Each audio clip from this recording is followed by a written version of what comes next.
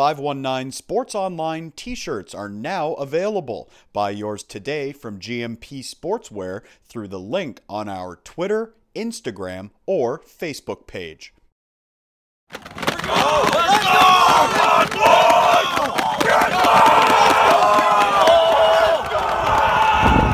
Football quarterfinals on Thursday. Ryan Yancey and the Waterloo Oxford Crusaders on the road, taking on Elijah Cruikshank and the Jacob Hespeler Hawks. Opening quarter, and what a start for the Hawks. Cruikshank looking long, Seth Robertson, nothing but daylight in front of him. That is a 51 yard touchdown. Jacob Hespeler leading 7 0.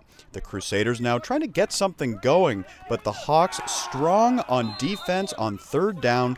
WO turning it over on downs. Next play, Cruikshank hooking up with Xavier Pineda. He cuts in, eludes the defender, and scores.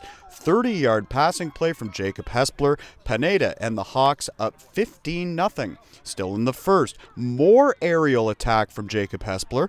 Pineda making the grab here. Jacob Hespeler is driving again. And a few plays after that, Cruikshank on the quarterback keeper. He finds the end zone from four yards out. The four time defending WCSSAA champions punch a ticket into the semifinals. Jacob Hespeler advancing with a big win over Waterloo Oxford.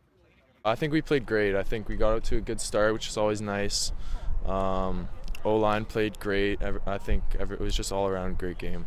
We're a well rounded team this year, and we're just playing hard every game, and we just keep getting better every day.